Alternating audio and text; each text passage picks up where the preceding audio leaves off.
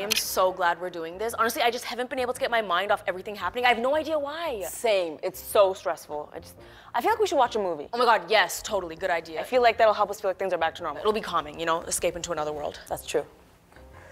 Yeah, let's see. Ooh, Contagion is trending. Mm, watched it last week. Same. Uh, 12 Monkeys? Watched it on the way here. 28 Days Later. Ooh. Scary, zombies. Done it.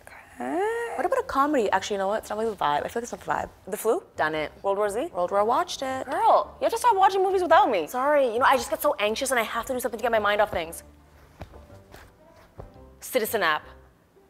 COVID cases are increasing. Honestly, stop bombarding me with COVID related content. It can't be healthy to keep seeing this type of stuff. It's not good. Yeah, it's like science. You know what we should do? We should play a nice board game. Oh my god, yes. That'll be good. Nice, calming board game. Okay.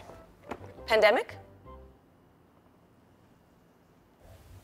Perfect. God, this is so relaxing.